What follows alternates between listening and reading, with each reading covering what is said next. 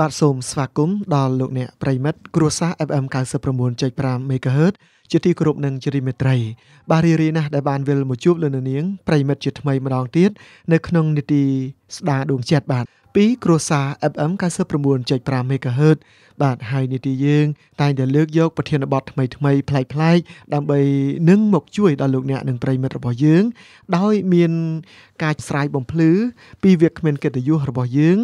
និងមានការចូលរួមពីលោកអ្នកប្រិមិត្តយើងផងដែរ បាទអរគុណណាស់ដើម្បីកុំឲ្យអូសបន្លាយពេលវេលាយូរខ្ញុំបាទសូមជម្រាបសួរដល់វាគ្មានកិត្តិយសរបស់យើងតែម្ដង បាទសូមជម្រាបសួរដល់លោកស៊ិនសំណាងបាទបាទជម្រាបសួរដល់លោកមកយឿនបាទលោកសុខសប្បាយលោកណាបាទសុខសប្បាយធម្មតាបាទអរគុណណាស់ដែលមានឱកាសជួបលោកបាទសូមព្រះទានពរលោកណាបាទអរគុណដូចគ្នាដែលព្រះប្រទានឱកាសឲ្យខ្ញុំបានជួបនឹងលោកដែរហើយយើងយើងបានឆ្នាំហើយបើទៅបាទអឺយូរទៅគឺ ជិត4ឆ្នាំទៅហើយលោកបាទអាចស្គាល់គ្នាបានណាស្គាល់បាទសូមអញ្ជើញបាទអរគុណណាស់បាទចំពោះការស្វាគមន៍និងការសំណេះសំណាលបាទកុំឲ្យប្រិមិត្តលោកទន្ទឹងរង់ចាំយូរបាទលោកអ្នកកំពុងទន្ទឹងរង់ចាំថាតើនេតិស្ដារដួងចិត្តនៅថ្ងៃនេះនឹងលើកយកប្រធានបទអ្វីមកជម្រាបចែកជូននោះបាទខ្ញុំសូមជម្រាបជូនតែម្ដង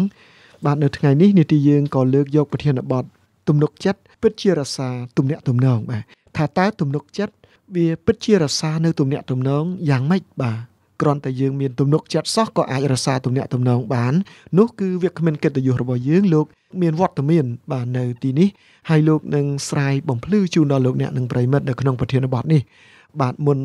នឹងលោកបំភ្លឺជូនលោកអ្នកប្រិមិត្តនៅប្រធានបទនេះបាទសូមលោកជម្រាបជូនពីគោលបំណងដែលចង់ជួយដល់ប្រិមិត្តអ្នកស្ដាប់យើងផងដែរសូមអញ្ជើញបាទបាទ អឺ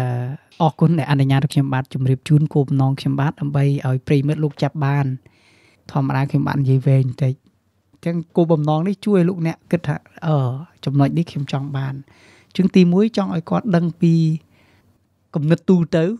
តាក់ទងទៅនឹងរឿងអ្វីជាហៅថាទំនុកចិត្តអានឹងជានិយមន័យក៏ថាបានដែរអាចយើងទាញពីប្រពៃណីអាចទាញរឿងចំណេះទូទៅអាចយើងនិយាយថាតើទំនុកចិត្តតាមរយៈបទពិសោធន៍លោកអ្នកដែលលោកអ្នកទុកចិត្តនោះ លោកអ្នកឲ្យតម្លៃនឹងនិយមនិយមន័យបែបម៉េចជួនកាលលោកអ្នកកំណត់នៅទំនុកចិត្តខុសក៏អាចនឹងលោកអ្នកខកចិត្តដែរដោយព្រោះតែនិយមន័យដែលលោកអ្នកប្រកាន់ចំហខ្លួនឯងកន្លងមកនឹងទី1ហើយទី2ឲ្យលោកអ្នកស្គាល់ពីបញ្ហាដែលបាក់បាច់ pressure គ្មានតំណែងតំណងហ្នឹងដោយសារតែយើងពិបាកនឹងទុកចិត្តតើបញ្ហាហ្នឹងវាកើតឡើងអីខ្លះហើយអ្វីដែលជាឧបសគ្គដែលនាំឲ្យលោកអ្នកមិនអាចទុកចិត្តគេបាន បាទដូចជាទុកចិត្តប្តីទុកចិត្តប្រពន្ធកូនទុកចិត្តអ្នកដឹកនាំទុកចិត្តគ្រួសារឬក៏ទុកចិត្តនៅក្នុងស្ថាប័នកូនចៅលោកអ្នកពិបាកនឹងទុកចិត្តនឹងវាមានកលឹះអីដែលធ្វើពិបាកនឹងទុកចិត្តតែចង់ទុកចិត្តដែរវាទៅវាមិនរួចនេះជារឿងមួយដែលខ្ញុំបាទកំពុងតែរៀនដែរមិនមែនមានន័យថាយើងយកមេរៀននេះមកយើងគ្រប់លក្ខតែយើងមានការអភិវឌ្ឍសមត្ថភាពបាទឲ្យទៅមុខទៀតដែលសុភាសិតនិយាយថា ដឹងច្រើនខុសតិចដឹងតិចខុសច្រើនអញ្ចឹងអានេះវាជារឿងដែលយើងត្រូវរៀនពីរឿងអតីតកាលកន្លងមកក៏ថាបានដែរដែលលោកអ្នកបានកំពុងស្ថិតនៅក្នុងទូនាទីដែលមានកូនចៅឬក៏យើងក្នុងតំណែងជាមេណាឬក៏ជាអ្នកដែលមានដំណាក់ឋានៈឬតំណែងហ្នឹងដែលដែលអាចប្រើប្រាស់នៅសមត្ថភាពខ្លួនតើយើងមានបញ្ហាអីដែលនាំឲ្យមានភាពប្រឆានឹងទី2ទី3យើងនឹងជួយឲ្យលោកអ្នកបាទស្គាល់អំពី របៀបដែលយើងអាចសាងទំនុកចិត្តបាននៅក្នុងបើយើងនិយាយពីគ្រីស្ទៀនក្នុងជំនឿយើងយើងថាតើគេអាចទុកចិត្តយើងអាចនឹងបដោះគេកើតយើងអាចខ្លាចជាបងឬអាចជាអ្នកដែលមានសមត្ថភាពអខពលឹងវិញ្ញាណនឹងយ៉ាងម៉េចបាទធ្វើយ៉ាងម៉េចអានឹងទី1ហើយបើយើងជាគ្រួសារណាប្តីទុកចិត្តយើងឬប្រពន្ធកូនទុកចិត្តយើងយើងមានសមត្ថភាពកន្លែងណាដែលគេអាចទុកចិត្តយើងបាននឹងអឺ នឹងទីចុងក្រោយខ្ញុំចង់ឲ្យយើងទាំងអស់គ្នា ជាពិសេសប្រិមិត្តស្ដាប់លោក មានជំនឿចិត្តតកតងគេហៅថា ការដំណើរជីវិត នៅក្នុងសមត្ថភាព ដែលយកជ័យជំនះក្នុងការទុកចិត្តខ្លួនឯងទុកចិត្តព្រះនិងទុកចិត្តមនុស្សដែលនៅក្បែរខ្លួនកុំសង្ស័យអញ្ចឹងធ្វើទុកចិត្តយ៉ាងម៉េចអានេះជារឿងសំខាន់ដែលយើងត្រូវរៀនដើម្បីរក្សាទំនាក់ទំនងបើយើងសង្ស័យបាទមិនថាលោកអ្នកសង្ស័យទូចកណាសង្ស័យមិនខុសអីដែល ដូចជាទំនប់ទឹកដែលវាកំពុងតែជ្រាបហើយត្រៀមនឹងប្រេះបាទចឹងបើសិនជាលោកអ្នកកំពុងតែសង្ស័យនេះជារឿងមួយហើយដែលឲ្យលោកអ្នករកថាតើធ្វើម៉េចដើម្បីខ្ញុំអាចគេហៅថាជ័យជំនះឆ្ពោះទៅរក ការបង្កើនទំនុកចិត្តដើម្បីតំណាក់តំណងបាទទំនុកចិត្តនឹងវាមានអីខ្លះបាទអញ្ចឹងសូមអរគុណដែលនីតិនេះសូមជាប្រយោជន៍ជាប្រពោបាទសូមព្រះទានពរបាទសូមអរគុណបាទអរគុណណាស់ បាទមុននឹងយើងចូលទៅក្នុងការពិភាក្សាឲ្យបានស៊ីជម្រៅនិងពុស្ដាបាទលោកនាងប្រិមិត្តអ្នកស្ដាប់ជាទីគោរពនិងជាទីមេត្រីលោកនាងកំពុងតែតាមដានស្ដាប់នៅក្នុងនីតិស្ដារដួងចិត្តដែលផ្សាយចេញពីគ្រួសារ FM 96.5 MHz នៅក្នុងប្រធានបទទំនុកចិត្តពិតជារក្សាទំនាក់ទំនងបាទលោកស៊ិនសំណាងក៏បានជម្រាបជូនអំពីគោលបំណងដែលចង់ជួយដល់លោកអ្នកនិងប្រិមិត្តយើងហើយបាទខ្ញុំក៏បានចាប់អារម្មណ៍នៅពាក្យរបស់លោកថាបើ ឲ្យនិយមនៃខុសមានទំនុកចិត្តខុសក៏វាមិនអាចទទួលបាននូវជោគជ័យដែរអញ្ចឹងសូមលោកជម្រាបជូនដល់លោកអ្នកនិងប្រិមិត្តការឲ្យនិយមនៃខុសនិងការឲ្យនិយមនៃត្រូវនៅក្នុងទំនុកចិត្តពិតជារសាទំនាក់ទំនងនេះវាមានន័យយ៉ាងម៉េចសូមអញ្ជើញបាទមុននឹងឈាននិយមន័យទាំងមូលខ្ញុំសូមឲ្យលោកអ្នកយល់ភាសាខ្មែរលោកអ្នកប្រកាសជាអាចនឹងបកស្រាយច្រើនលើសជាងខ្ញុំនិយាយនឹងទៅទៀតតែគ្រាន់តែមួយផ្នែកដែលខ្ញុំនិយាយនេះវាជា ទុនមួយដែលលោកអ្នកដឹងរួចទៅហើយថា ទំនុកចិត្តវាជា សមត្ថភាពជំនឿសមត្ថភាពទំនាក់ទំនងរបស់ខ្លួនភ្ជាប់ជាមួយជំនឿទៅលើបុគ្គលណាម្នាក់កាលណាយើងជឿទុកចិត្តណាគេតែនិយាយភ្ជាប់នឹងខ្ញុំជឿគាត់ខ្ញុំទុកចិត្តគាត់បាទអញ្ចឹងជំនឿភ្ជាប់ជាមួយទំនុកចិត្តទៅលើបុគ្គលមួយដែលយើងរំពឹងថានឹងសង្ឃឹមបាន ទៅតាមបំណងប្រាថ្នាណាសក្តីសង្ឃឹមដែលយើងមាននឹងយើងភាពជឿជាក់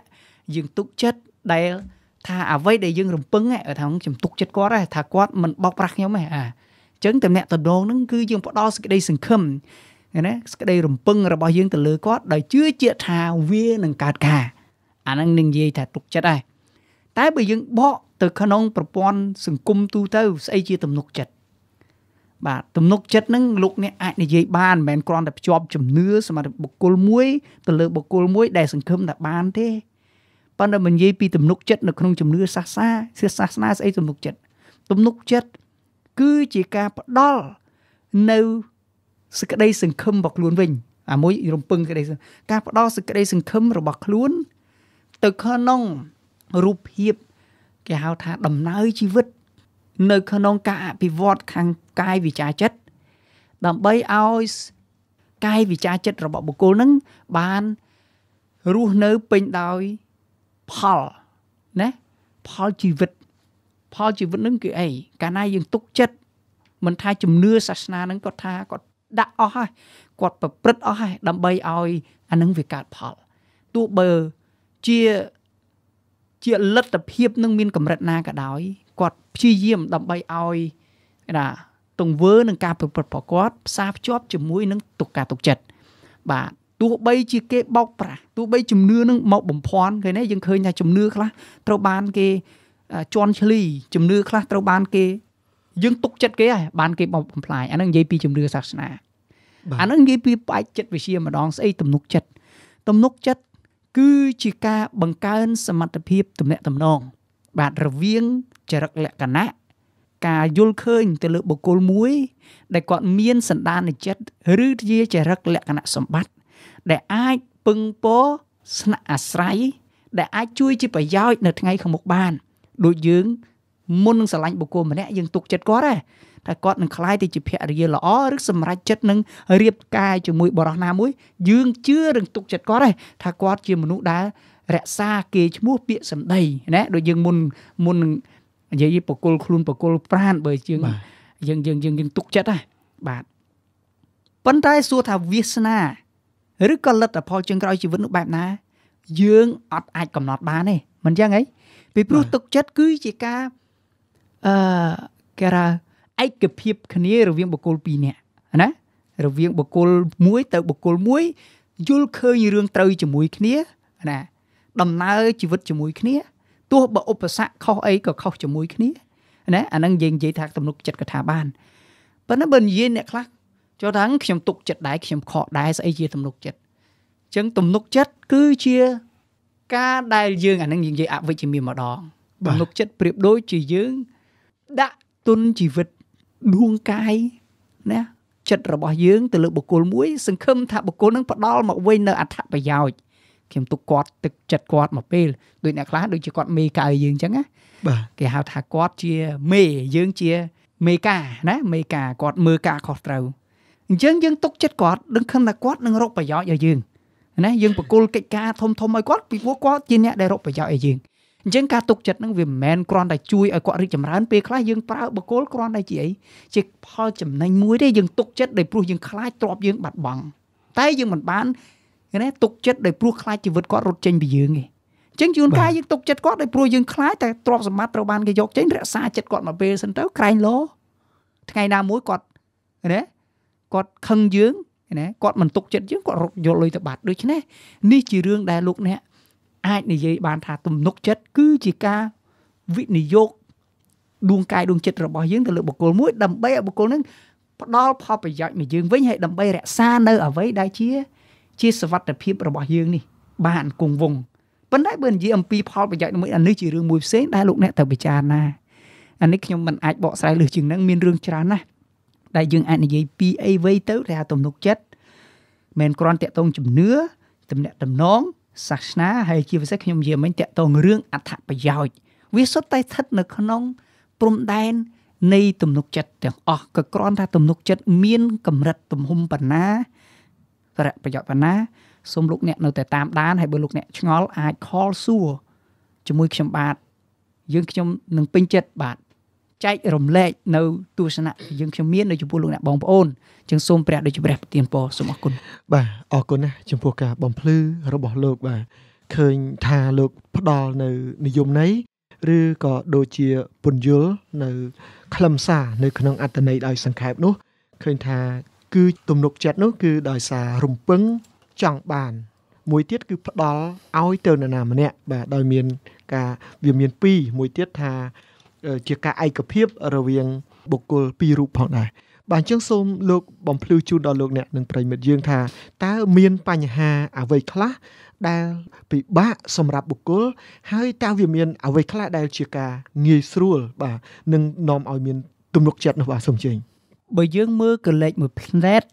ឬក៏ស្ដាប់មួយប្រាវចំពោះទស្សនៈខ្ញុំលើកនិយមរីអមាញ់មិញលោកអ្នកនឹងប្រកាសជា តាក់ស្ទើរនៅក្នុងការឲ្យនិយមន័យតើនិយមន័យដែលខ្ញុំកំពុងថាទុកចិត្តនឹងគឺអីខ្ញុំទុកចិត្តដោយព្រោះតែគេឲ្យប្រយោជន៍មកខ្ញុំឬខ្ញុំទុកចិត្តដោយព្រោះខ្ញុំឲ្យប្រយោជន៍ដល់គេអញ្ចឹងរឿងដែលយើងទុកចិត្តដោយរំពឹងថាគេនឹងឲ្យប្រយោជន៍មកយើងភាកច្រើនគ្រោះថ្នាក់ច្រើនជាងយើងឲ្យប្រយោជន៍ដល់គេបាទម្សិលមិញខ្ញុំបានអង្គុយអាន ទស្សនាវដ្តីក្នុងកំឡុងពេលដែលខ្ញុំលាងម៉ូតូ ពេលដែលដាក់ម៉ូតូលាងខ្ញុំអានទំព័រមួយនោះនិយាយពីនារីម្នាក់វាសនាគេហៅថាវាសនាកំសត់ត្រូវបានបរោះបោកប្រាស់នៅក្នុងទំព័រទស្សនាវដ្តីបាននិយាយថា នាងត្រូវបានទុកចិត្តទៅលើបុគ្គលម្នាក់ដែលប្រើពាក្យពេចពីរោះផ្អែមល្ហែមដែលនេះនាងអាយុប្រហែលចន្លោះ18ទៅ20ឆ្នាំទេតាមគេឲ្យបរោះនោះចន្លោះទៅ20 25អីចឹងទេប៉ុន្តែនាង ទុកចិត្តស្លងទៅលើពាក្យសម្ដីផ្អែមតលហែមបរោះនំហើយនៅក្នុងទំព័រចុងក្រោយនាងថា រហូតដល់ទុកចិត្តប្រគល់ខ្លួនប្រានណាដោយជឿពាក្យពេចន៍លួងលោមរបស់បរោះមិនដឹងថានារីគាត់ប្រគល់ដោយព្រោះបរោះនឹងសន្យាឲ្យអីខ្លះឬក៏ជួនកាលឬនារីគាត់រំពឹងចង់បានអីខ្លះបានជាទំនុកចិត្តនេះគាត់ឈានទៅដល់បញ្ហា បញ្ហាគឺទំព័រចុងក្រោយបានប្រាប់ថាអនាគត និយាយស្មោះត្រង់គឺជាក្រុមពុំចាររបស់ខ្លួនត្រូវបានបរោះជន់ឈ្លីធ្វើបាបរហូតដល់មែនមែនតែនទៅ នាងមានផ្ទៃប៉ុន្តែដោយសារតែវាមិនអាចនៅបានដោយសារតែដួលឬក៏ដើរដួលជំពប់ចឹងកូនឬនៅក្នុងផ្ទៃក៏រលូទៅប៉ុន្តែអង្វរស្វាមីឬក៏គូស្នេហ៍របស់ខ្លួនព្រមឲ្យទៅជួបឪពុកម្ដាយដើម្បីរកថ្ងៃគុនគូណារៀបចំអាពាហ៍ពិពាហ៍តាំងពីពេលដែលគាត់តែប្រើពាក្យបនោះបរោះដែលបានខ្លួនប្រាណនារី ណាជាច្រើនខែកន្លងមកនោះ បានបិទទូរស័ព្ទហើយកិច្ចខ្លួនបាត់ទៅនិយាយនេះជាទស្សនៈវដ្តីលោកបានបញ្ជាក់ប្រាប់ថានារីនេះក៏មានវិបដិសេរីមិនអាចនឹងបន្តកិច្ចការនៅក្នុងឬធ្វើកិច្ចការតទៀតបានត្រឡប់ទៅស្រុកកំណើតរស់នៅក្នុងជានារីវ័យក្មេងដែលគេហៅថានារីក្រមុំគេហៅថាអាចថាថាពោះម៉ាយឬក៏អីអត់ដឹងគឺគឺថាខូចបងអនាគត នៅក្នុងន័យនេះខ្ញុំមិនដឹងថានិយមន័យការទុកចិត្តជាអ្វីទេក៏ប៉ុន្តែដោយសារតែ ពាក្យលួងលោមផ្អែមល្ហែមដោយសារតែដំមងប្រាថ្នាពាក្យលួងលោមដែលយើងចង់បាននេះយើងទំនុកចិត្តយើងទុកចិត្តគេដែលគិតថាគេឲ្យរបស់ដែលគេសន្យានឹងឲ្យយើងណាបាទអញ្ចឹងនៅពេលដែលយើងចង់បានសេចក្តីសន្និឲ្យយើងយើងព្រមយកទំនុកចិត្តដែលយកខ្លួនឯងជាទំនុកចិត្តលោកខ្លួនឯងគឺជាអីគឺជាអាចថាជាតោ ជាពីងដើម្បីអ្នកដទៃអាចដាក់មកនៅក្នុងដែលខ្លួនកំពុងកខ្វះខាតបងប្អូនហើយអ្វីដែលខ្ញុំចង់និយាយកន្លែងនេះទំនុកចិត្តដែលនាំឲ្យគ្រោះថ្នាក់គឺជាទំនុកចិត្តដែលយើងមិនត្រូវរំពឹងថាអ្នកដទៃនឹងឲ្យមកលើយើងជ្រុលពេកទេប៉ុន្តែបើយើងអាចទុកចិត្តមានន័យថាតើយើងទុកចិត្តដើម្បីឲ្យបុគ្គលនោះ បាទរីកចម្រើនបានឬក៏បុគ្គលដែលខ្ញុំអាចឲ្យទុកចិត្តបើសិនខ្លួនស្រឡាញ់យើងទុកចិត្តបុគ្គលនឹងតែយើងអាចជួយឲ្យបុគ្គលរីកចម្រើនជាជាងយើងដាក់ទំនុកចិត្តឲ្យបុគ្គលរំពឹងឲ្យយើងអានឹងជារឿងដែលខុសវាច្រើនដូច្នេះនេះខ្ញុំចង់និយាយឲ្យលោកអ្នកហើយរឿងទំនុកចិត្តជាច្រើនមិនថាវិស័យការងារ បើសិនជានៅក្នុងវិស័យការងារយើងទុកចិត្តបុគ្គលមួយហើយបុគ្គលនោះជាបុគ្គលដែលគិតថាអាចរក្សាទ្រព្យរកចំណូលបានឲ្យក្រុមហ៊ុនឬក៏ជាអ្នកដែលរកមុខមាត់ផ្ដល់កិត្តិយសឲ្យចវាយនេះប៉ុន្តែបំបានណាគិតពីរឿងតំណែងតំណងទេ ការដែលចវាយនេះមានទំនុកចិត្តចំពោះកូនចៅអានេះគេហៅថាទំនុកចិត្តក្រន់ដែលសម្លឹងឃើញប្រយោជន៍ប៉ុន្តែថ្ងៃណាមួយបុគ្គលម្នាក់នោះមិនបានផ្ដល់ប្រយោជន៍ឲ្យបុគ្គលនឹងទេទំនុកចិត្តនឹងអាចប្រេះស្រាំឧជាការខាតបង់ ឬក៏ជាការដែលធ្វើឲ្យចំនួនជួញប្រែមិនបានរីកចម្រើនទេណាទំនាក់ទំនងដែលច្រើនឆ្នាំវាអាចនឹងត្រូវបាត់បង់នៅពេលវេលាបុគ្គលនោះត្រូវបានតែធ្វើអឺត្រូវបានមេរបស់ខ្លួនខកបំណងខកចិត្តដែលព្រោះមិនបានរកប្រយោជន៍ឲ្យឲ្យមេដូចនេះជារឿងច្រើនណាស់ដែលខ្ញុំចង់បញ្ជាក់លោកអ្នកបងប្អូនទំនុកចិត្តដែលនាំឲ្យមានភាពប្រសាមគឺជាទំនុកចិត្តដែលលោកអ្នកឃើញហើយថា ជារឿងដែលយើងចង់ឲ្យបុគ្គលមួយផ្ដល់ នៅអ្វីដែលខ្លួនចង់បានជាជាងដែលយើងគិតបុគ្គលនោះតើយើងឲ្យប្រយោជន៍បុគ្គលនោះច្រើនដល់កម្រិតណាបាទសូមអរគុណបាទអរគុណណាស់បាទលោកអ្នកប្រិមិត្តជាទីគោរពនិងជាទីមេត្រីបាទនីតិយើងគ្រាន់តែចង់ជួយដល់លោកអ្នកនិងប្រិមិត្តយើង បាទលោកអ្នកត្រូវតែមានបំរុងប្រយ័ត្ននិងថ្លឹងថ្លែងដើម្បីទទួលនៅសវត្ថភាពរបស់ខ្លួន បាទជៀសវាងដែលនាំឲ្យមានទំនុកចិត្តក៏ប៉ុន្តែបែរជាមានការខកចិត្តនោះ បាទអរគុណឥឡូវយើងអនុញ្ញាតសម្រាប់មួយផ្លែតហើយសូមលោកអ្នកប្រិមរីរីកំសាន្តជាមួយនឹងបទចម្រៀងមួយបទសិនបាទយើងនឹងវិលមកជួបគ្នាបាទលោកអ្នកប្រិមិត្តជាទីគោរពនិងជាទីស្រឡាញ់លោកនាងកំពុងតែតាមដានស្ដាប់នៅក្នុងនេតិស្ដារដួងចិត្តដែលផ្សាយចេញពីគ្រួសារ FM 99.5 MHz នៅក្នុងប្រធានបទទំនុកចិត្តពិតជារក្សាទំនាក់ទំនងបាទ បាទលោកអ្នកប្រិមិត្តយើងលោកបានតាមដានស្ដាប់បាទលោកមានជាសំណួរបាទឬក៏ចង់ផ្ដល់ជាអនុសាសន៍ឬក៏ចង់បញ្ចេញជាមតិនោះអាចទូរស័ព្ទមកនីតិយើងបានតាមរយៈទូរស័ព្ទពីរប្រព័ន្ធបាទគឺ012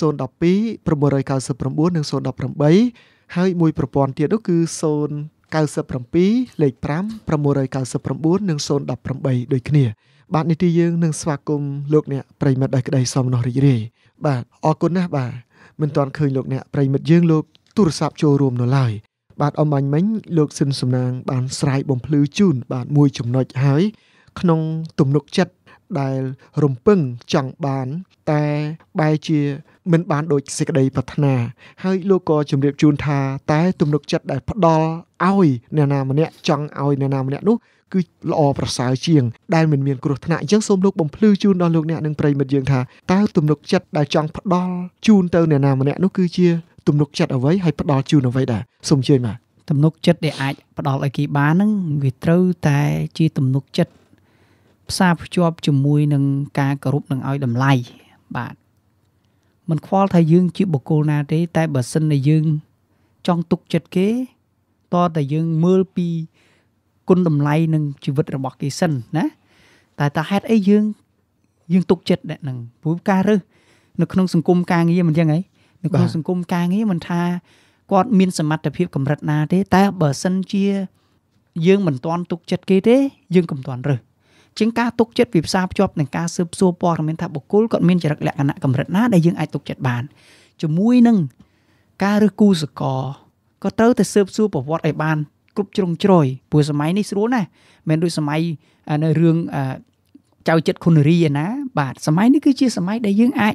ស៊ើបសួរព័ត៌មានយ៉ាងងាយបាទគាត់ថាបើសិនជាបុគ្គលនៅខេត្តកំពង់ចាមនេះគឺយើងស្នេហាយើងអាចទុកចិត្តគាត់ថាគាត់មានគូមិនមានគូយើងអាចស៊ើបសួរបានស្រួលតាមរយៈប្រវត្តិសាវតា Facebook អីយ៉ាងជាដើមឡាក់ណាស្គាល់តលេខយើងអាចធ្វើតលេងតំបន់ឬក៏ស៊ើបសួរផ្ទះស្រុកកំណើតហើយយើងស្គាល់ភូមិនឹងអីចឹងទៅយើងសួរណាបើឧទាហរណ៍ឥឡូវមានអ្នកបោកដោយសារតែលក្ខអត្តញ្ញាណក៏យើងអាចបើមនុស្សដែលឆ្លាតយើងអាចបាទ ស្គាល់ចរិតលក្ខណៈអញ្ចឹងការការស៊ើបនឹងការអាចណាទុកចិត្តគឺវាចាប់ផ្ដើមជាការដែលតាយើងអាចស្គាល់នឹងការគោរពឲ្យតម្លៃបុគ្គលនឹងយ៉ាងម៉េចមុនដែលយើងណាសម្រេចចិត្តឲ្យជីវិតរបស់ខ្លួនឯងคล้ายទៅជា ផ្នែកមួយនៃជោគវាសនាអនាគតជីវិតរបស់ខ្លួនដូចនេះជារឿងមួយ គឺយើងត្រូវតែគោរពឬក៏ឲ្យតម្លៃខ្លួនឯងខ្លួនឯងក៏មនុស្សមានតម្លៃត្រូវទេបាទ បាទយើងត្រូវចាត់ទុកខ្លួនឯងមានតម្លៃដែរពីព្រោះដូចខ្ញុំនិយាយការទុកចិត្តមិនមែនអ្នកដទៃគ្រាន់ឲ្យតម្លៃមើលយើងយើងយើងក៏អាចមានតម្លៃឲ្យគេដែរ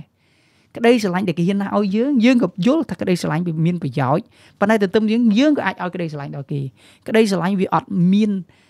អឺវាមិនអាចជាលក្ខខណ្ឌទេបាននិយាយថាខ្ញុំស្រឡាញ់អ្នកឯងដោយព្រោះតែអ្នកឯងចេះមួយអានឹងបាទយើងស្រឡាញ់វាត្រូវតែមានប្រយោជន៍នឹងការឲ្យគ្នាទៅវិញមកទើបគេណាការទុកចិត្តវាអាចកើតឡើងបាន បាទដូចនឹងប្តីប្រពន្ធចឹងយើងទុកចិត្តគាត់ដោយព្រោះហេតុអី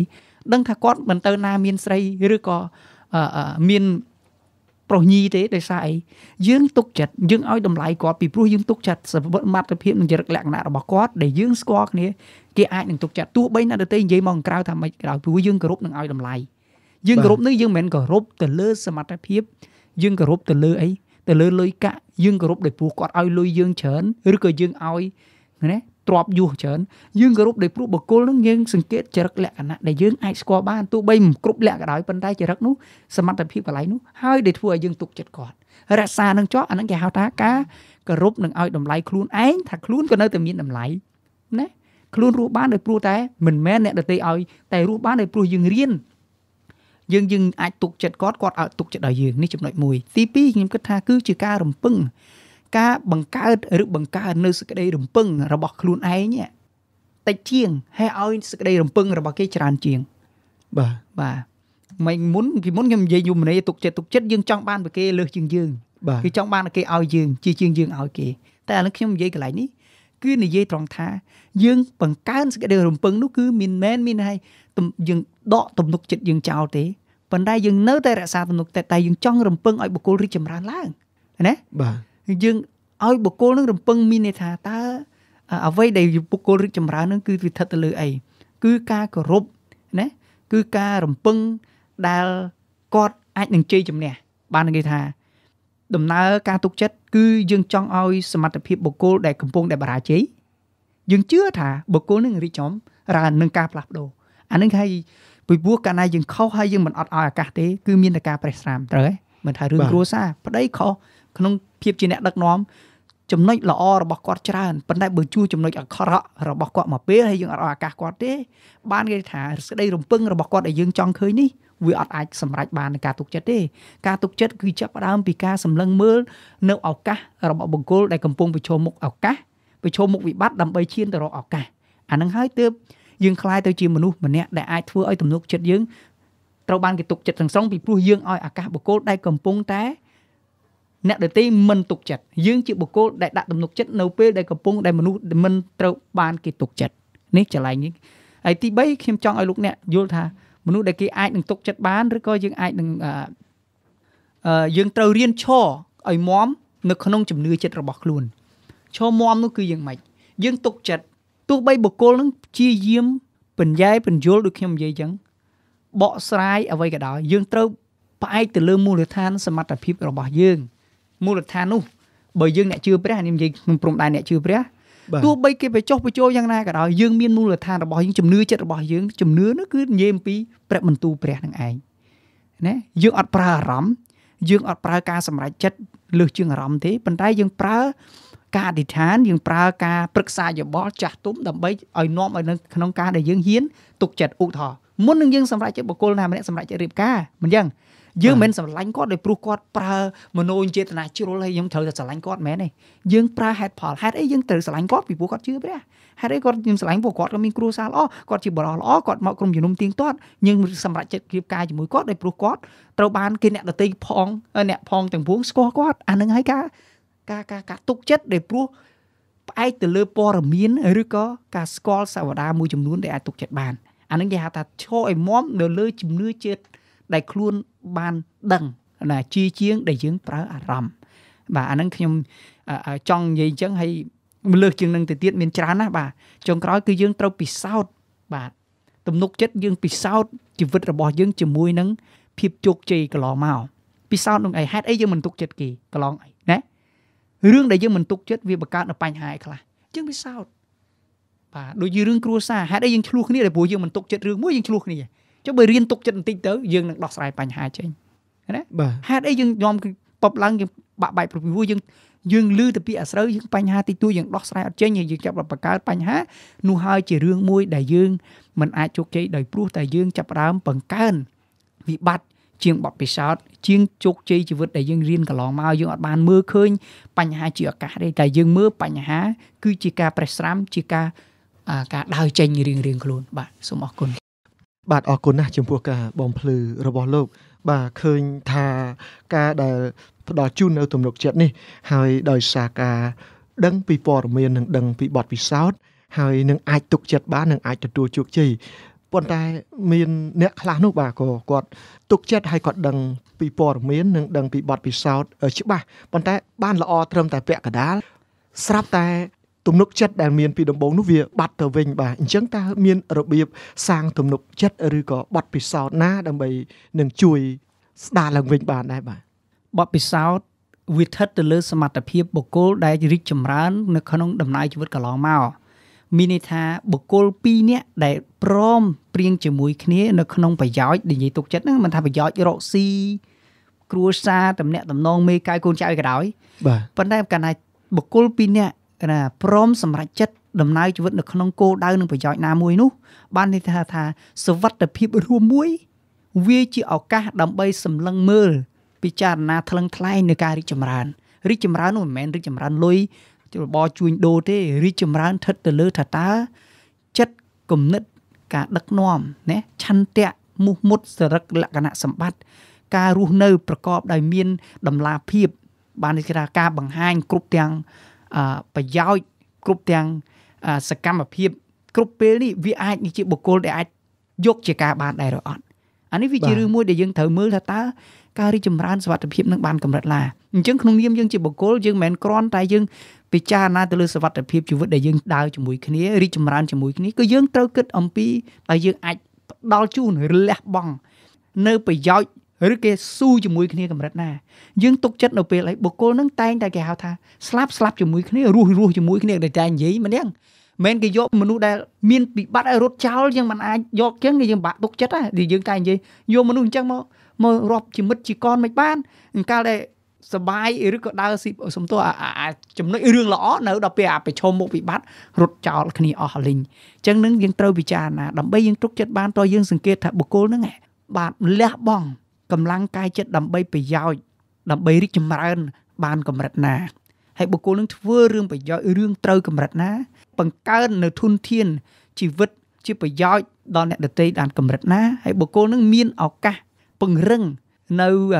សមត្ថភាព ជួយទប់ស្កាត់នៅឧបសគ្គបញ្ហានេះតែដោះស្រាយបញ្ហា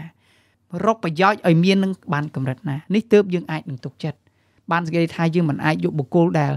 ដែលដែល មានគេឈ្មោះអាស្រូវហើយចាប់អាមទុកចិត្តភ្លាមវាជាការពិតយើងយកមនុស្សអាក្រក់យកមកប្រើអាហ្នឹងទ្រឹស្ដីរបស់សាមកុកឬទ្រឹស្ដីរបស់អ្នកផ្សេងប៉ុន្តែតែចាំថាមនុស្សគេថាមនុស្សដែលគេប្រើមិនកើតយកមកប្រើអាហ្នឹងខ្ញុំស្គមគាំទ្រ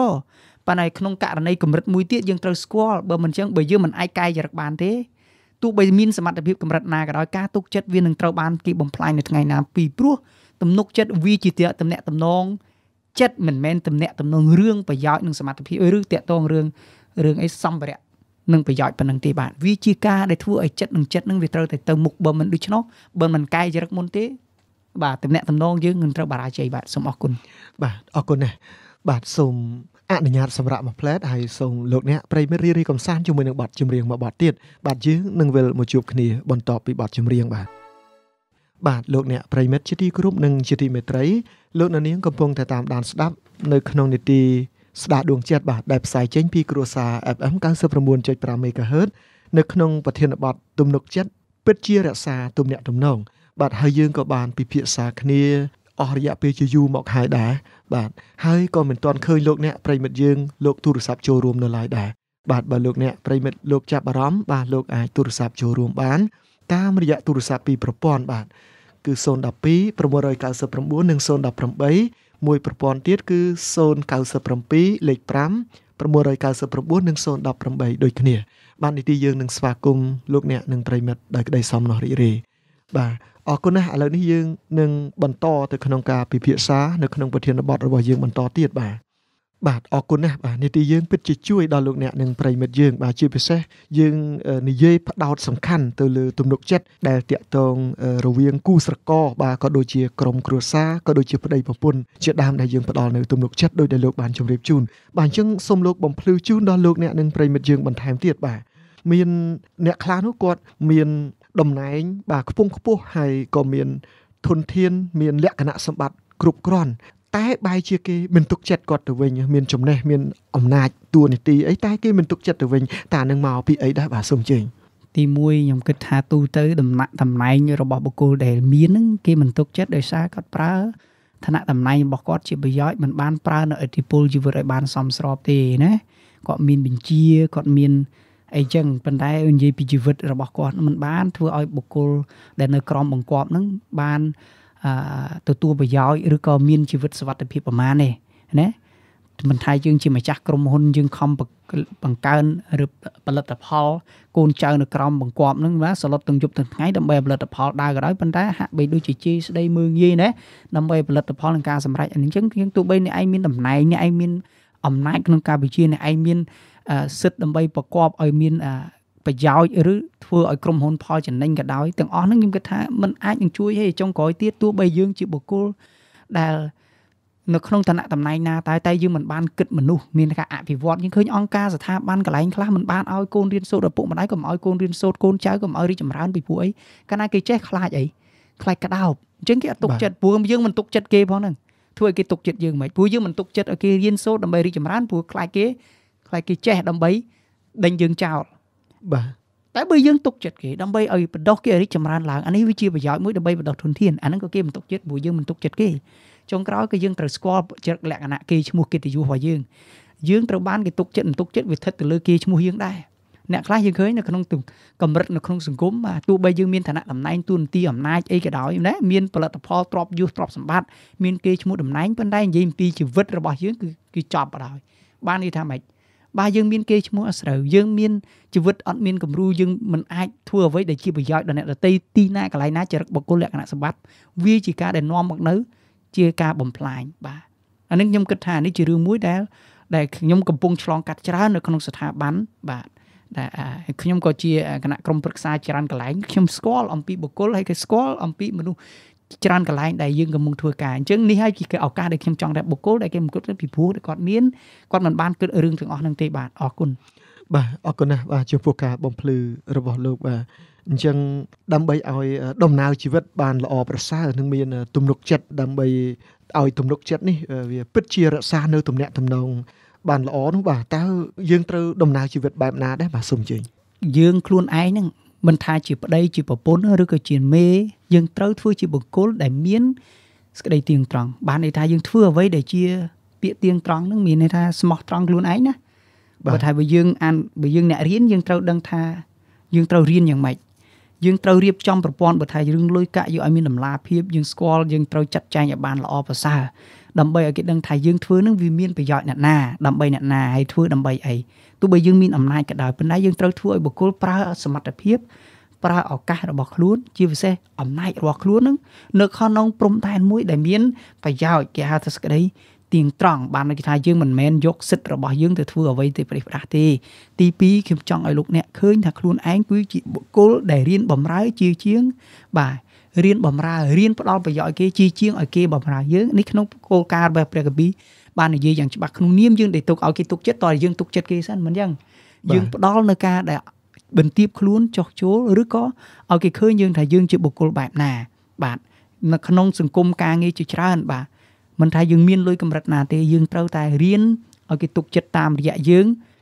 យើងធ្វើឲ្យគេឃើញបើនិយាយស្រួលយល់ណាជាជាងជាជាងអីជាជាង យើងចង់ឲ្យគេឃើញយើងធ្វើឲ្យគេឃើញតាមរយៈសមត្ថភាព តាមរយៈចំណេះដឹងកាយវិការរបស់យើងដែលយើងអាចធ្វើអ្វីជាប្រយោជន៍អានេះហើយ វាជាជាការរីកចម្រើនដែលគេអាចទុកចិត្តបាន ទី3ខ្ញុំចង់ឲ្យយើងធ្វើថាវាជាឱកាសដើម្បីគេទុកចិត្តយើងត្រូវលះបង់បាទលះបង់គឺมันអាចជាបុគ្គលណាម្នាក់ឈានមកគ្រកធ្វើជាមនុស្សដែលគេទុកចិត្តដោយគ្មានការលះបង់ទេមនុស្សដែលខ្ញុំស្គាល់មុននឹងគេចាប់ផ្ដើមខ្លាយជាបុគ្គលគេទុកចិត្តអ្នកខ្លះសុំយួរកតាបនៅក្បែរគេដើរក្បែរគេអ្នកខ្លះខ្លាយទៅជាគេទុកចិត្តកាន់លុយរាប់លានដោយសារអីគេប្រើពីលុយបន្តិចណាគេប្រើសមត្ថភាពគេតេស្តមើលបន្តិចបន្តិចតែគេអាចទុកចិត្តអញ្ចឹងមនុស្សដែលហ៊ានលះបង់គឺម្នាក់ព្រម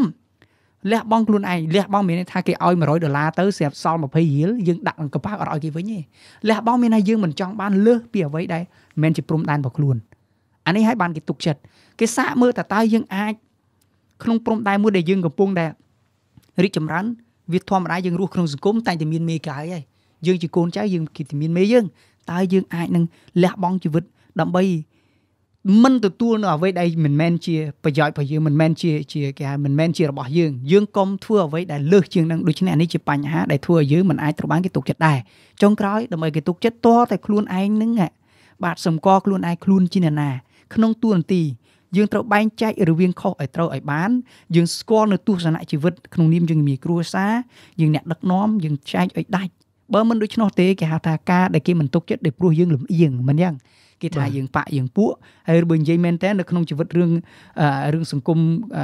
រឿងជីវិតរឿងរបស់នាងដេបូរ៉ាយើងដឹងស្រាប់នៅក្នុងព្រះកាពីបើលោកអ្នកចង់ដឹងកាពីចវាយគេពុក5យើងបានរៀនច្រើនតាក់ទងទៅរឿងហេតុអីបានជាបាទព្រះជ្រើសរើសបាទដេបូរ៉ាខ្លាយជាជាអ្នកដឹកនាំពីព្រោះនាងជាមនុស្សម្នាក់ដែលហ៊ានឈរគ្រប់ពលីសម្រាប់សង្គមបុព្វហេតុជាពិសេសបំណងព្រះ ដែលព្រះដាក់ដើម្បីរំដោះជាតិរបស់ព្រះអង្គឲ្យចេញពី ភាពវឹកវរនៅក្នុងសង្គមភាពជន់ឈ្លីនៅក្នុងសង្គមដូចគ្នាដើម្បីគេទុកចិត្តក្នុងនាមយើងជាអ្នកណាជាមេភូមិចៅសង្កាត់ក្តីជាគ្រូគង្វាលថ្នាក់ដឹកនាំដែលកំពុងផលផុសនៅរឿងសង្គមមួយចំនួនតែសូមឲ្យយើងមើលគំរូនឹងព្រះគម្ពីរថាមនុស្សដែលព្រះមនុស្សដែលត្រូវបានគេទុកចិត្តក៏ត្រូវតែឲ្យជាបុគ្គលដែលព្រះទុកចិត្តជាមុនសិនទើបត្រូវ មនុស្សទាំងពួងបានទុកចិត្តពីព្រោះយើងមិនមែនបំរើប្រយោជន៍តែយើងកំពុងបំរើព្រះយើងតំណាងឲ្យកិត្តិយសសេរីល្អរបស់ព្រះនេះហើយទើបឲ្យជីវិតទាំងឡាយរបស់យើងនៅលើផែនដីបានសម្រេចនៅអត្ថប្រយោជន៍អីសេរីល្អរបស់ព្រះអង្គនឹងចាំងចែងពីព្រោះយើងជាបុគ្គលម្នាក់ត្រូវបានគេចាត់ទុកថា នាំប្រយោជន៍នាំនៅជោគជ័យហើយនាំនៅសេរីមង្គលជាពិសេសចំពោះប្រយោជន៍កូនចៅកូនចៅរបស់ព្រះនៅលើតំបន់ណាមួយនៅក្នុងក្រុមជំនុំតំបន់ណាមួយហើយបើលោកអ្នកដើរតួនាទីជាអ្នកដែលកំពុងតែមានឋានៈតំណែងណានោះសូមឲ្យយើងត្រូវបានគេទុកចិត្តថាយើងជាបុគ្គលដែលកំពុងត្រៀមសមត្ថភាពជានិច្ចដើម្បីបម្រើព្រះ សម្រាប់នគរបំណងព្រះអង្គនៅលើផែនដីបាទសូមអរគុណបាទអរគុណណាស់បាទដោយសារពេលវេលាក៏មានកំណត់ដែរអញ្ចឹងជាចុងក្រោយតើលោកមាន ពាក្យពេចន៍ឬក៏មានអនុសាសន៍យ៉ាងណាឬក៏អ្វីដែលប្រិមិត្តយើងមិនទាន់បានសួរឬក៏ដូចជាខ្ញុំមិនទាន់បានសួរសូមជួយបាទបើសិនជាយើងចង់ឲ្យគេទុកចិត្តយើងតើយើងទុកចិត្តខ្លួនឯងដើម្បីយើងដឹងថាទុកចិត្តខ្លួនឯងបានតើស្គាល់ខ្លួនឯងជាណាកពីប្រាប់ថាបើយើងចង់ទុកចិត្ត ព្រះតើដឹងខ្លួនថាយើងមានបាបទើបយើងអាចទុកចិត្តពីព្រោះព្រះបានប្រាប់យើងថាបញ្ហាជីវិតដែលមនុស្សមិនទុកចិត្តគេគឺមនុស្សហ្នឹងគឺអីមនុស្សហ្នឹងគេហៅថាដំកើងរឹកមនុស្សដែលគិតថាមានលទ្ធភាពគ្រប់គ្រាន់អាចជួយខ្លួនឯងបានព្រះមិនបានមកជួយដល់អ្នកណាគិតថាខ្លួនឯងជួយខ្លួនឯងបានទេព្រះជួយដល់អ្នកណាដែលគិតថាខ្លួនមានបាបការទុកចិត្តព្រះ គឺជាសមត្ថភាពដ៏កំពូល ដែលយើងអាចដឹងថា ព្រះអាចធ្វើកិច្ចការបានពីព្រោះព្រះ ជាព្រះដែលមានសមត្ថភាពព្រះទុកចិត្តយើងយើងក៏អាចនឹងទុកចិត្តព្រះពីព្រោះព្រះអាចធ្វើកិច្ចការដែលមនុស្សធម្មតាមិនអាចធ្វើបានសូមព្រះដូចព្រះទានពរសូមអរគុណ បាទនេតិស្ដារដងចិត្តក៏បានមកដល់ទីបញ្ចប់ដែរខ្ញុំបាទម៉ៅយឿនខ្ញុំបាទសិនសំណាងបាទបាទយើងទាំងអស់គ្នាក៏សូមថ្លែងអំណរគុណយ៉ាងជ្រាលជ្រៅដល់លោកអ្នកប្រិមិត្តយើងដែលលោកបានចំណាយពេលវេលាដ៏មានតម្លៃតាមដានស្ដាប់នេតិយើងតាំងពីដំបូងរហូតដល់ចុងបញ្ចប់បាទជាចុងក្រោយសូមព្រះជាម្ចាស់គង់នៅជាមួយនិងប្រទានពរនៅសេចក្តីសុខសាន្តសេចក្តីអំណរនិងការទុកចិត្តនិងការទំនាក់ទំនងបានរីកចម្រើននៅក្នុង ក្រុមគ្រួសាររបស់លោកអ្នកផងដែរសូមឃ្លាតពីប្រិមិត្តតែត្រឹមនេះសិនសង្ឃឹមថានឹងជួបលោកអ្នកនៅសប្តាហ៍ក្រោយទៀតតាមពេលនិងម៉ោងដដែលសូមអរគុណ